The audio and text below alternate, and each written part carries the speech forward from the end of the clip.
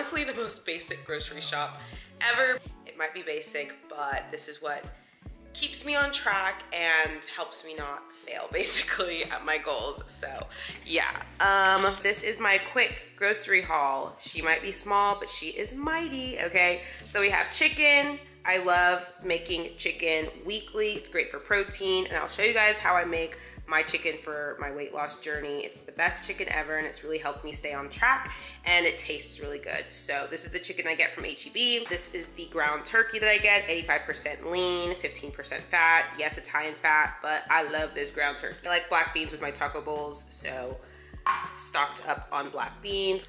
Also got some salsa. Salsa is great when you're trying to lose weight as well. Um, got some potatoes, onions, jalapenos, red bell pepper, um, flour tortillas, and cheese. Michael loves Mexican cheese, so I always get this for him. I'm still dairy free, so I don't really consume this right now. Um, yeah, and then lastly, I got this pesto chili to try with my chicken today. So we'll see how that pans out. I have never tried this before, but we're gonna give it a shot with my chicken today. Honestly guys, I'm just being very simple with everything when it comes to weight loss, fitness journey, whatever it is. You just need to keep things simple. Don't do too much. Stick with the basics. Stick with the things that you like honestly, truly like and don't make it too complicated. Don't make it too complicated. But yeah, we're gonna make some lunch here soon because I'm starving. I have been doing a lot and yeah.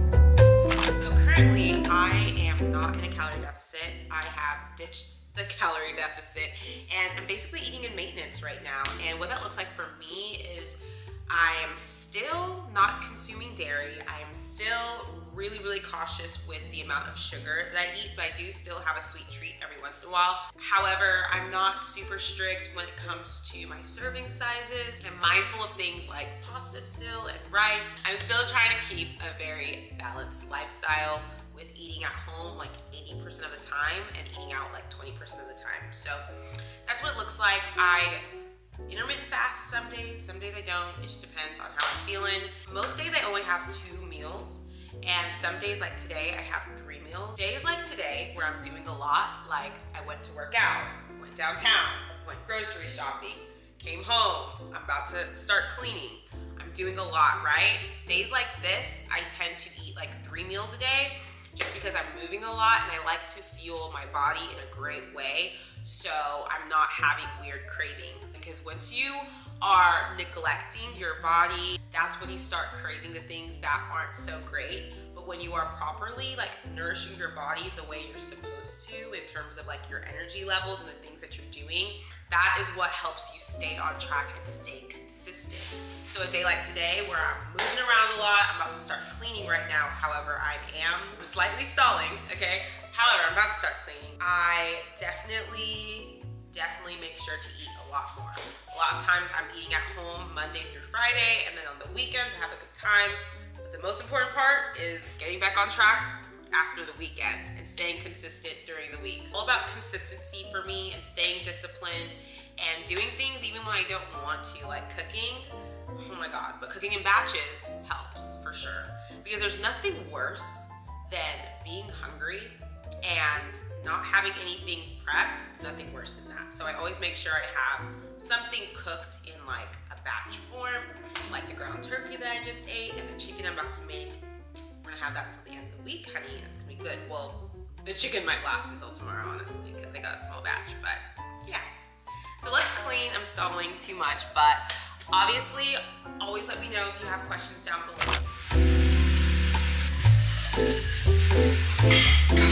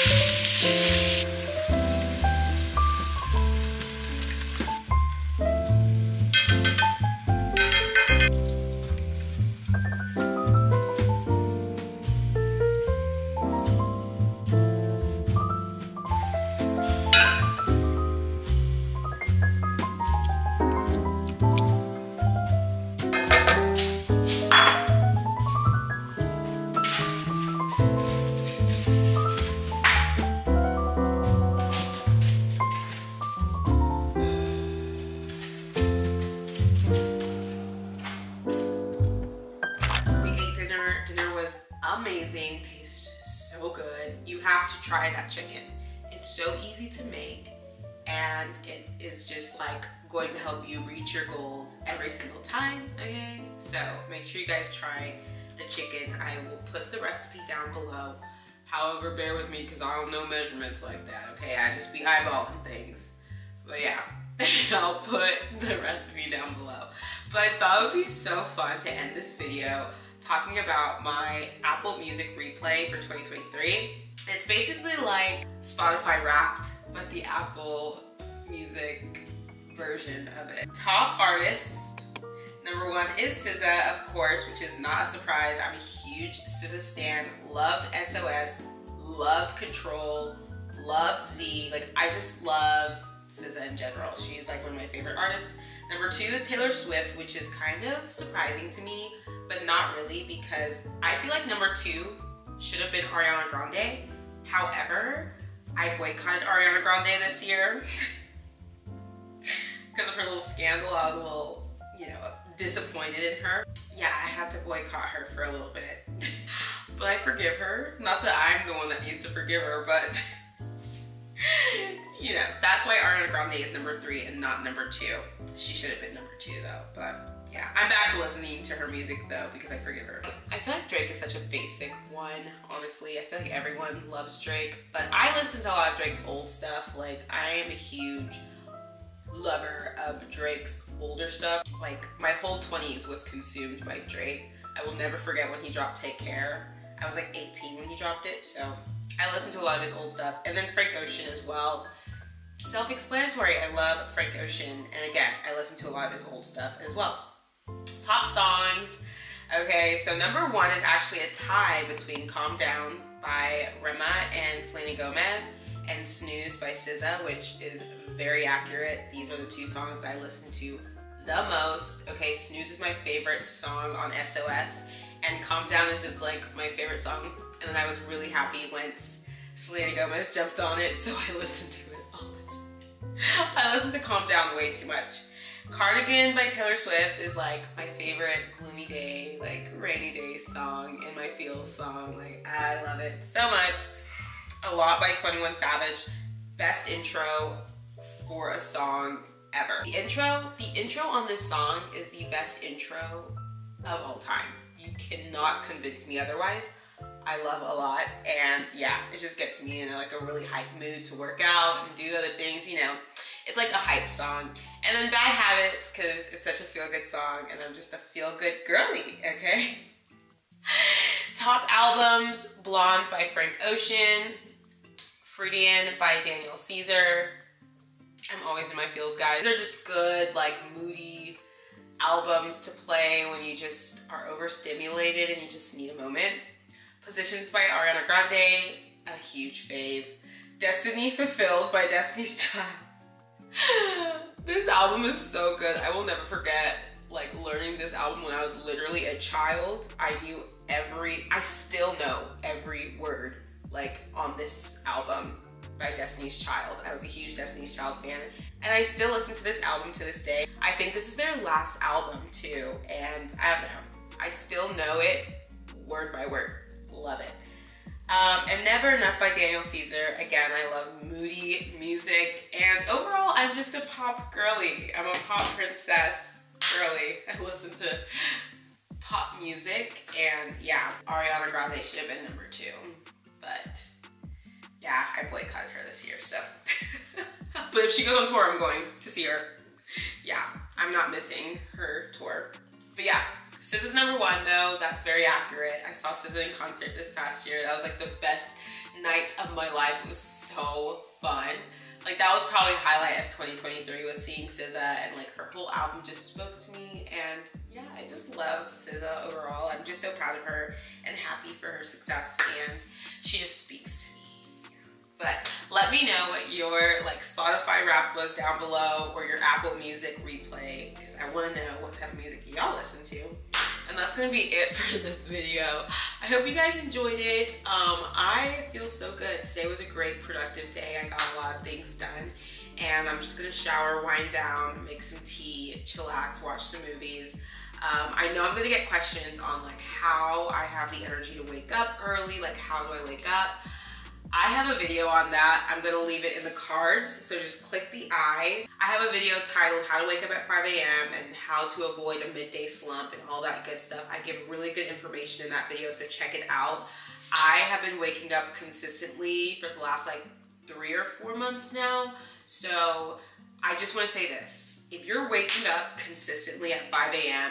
and you're treating your body right and you're eating healthy and drinking enough water, this will come very easy to you over time. Like I've done a lot today and I did not hit a midday slump. I'm not tired. And that's because I've done this consistently for so long that my body is like so used to it. So yeah, if you if you're if you're watching this, I'm checking my hand. If you're watching this and wondering like how is she able to go through the day, it's just because I do it so often and I take really good care of my body too because if you're not taking care of your body, waking up this early will feel like death. It'll feel awful. So yeah, I don't drink caffeine, I don't drink coffee, I don't drink any of that. I had some chai today, like a chai um, earlier, but I didn't even drink it all because it just had a lot of sugar and I wasn't trying to like have my blood sugar spike too much. But other than that, like I have no caffeine and I don't need caffeine to like keep myself going. However, however, your girl is going to be asleep by 9.30. Like I get so tired once nine o'clock rolls around. And that's the only like disadvantage of waking up early is that like you have to go to bed early every night because your body is just ready to like knock out. But let me tell you, I have the best sleep, man. I have the best sleep when I'm waking up consistently early. It's like, ugh, there's nothing better. My sleep quality is chef's kiss. But yeah, guys, I'm like super hyper now. What time is it? It's 6.30. We've had a full day and it's time to wind down at 6.30. So I hope you enjoyed this video. Let me know if you have any questions down below. And let me know if you want to see more videos like this where I bring you along with me from you know, early morning to like late at night. And yeah, guys, I will see you guys in the next video. Bye. Peace out, Girl Scout. Bye.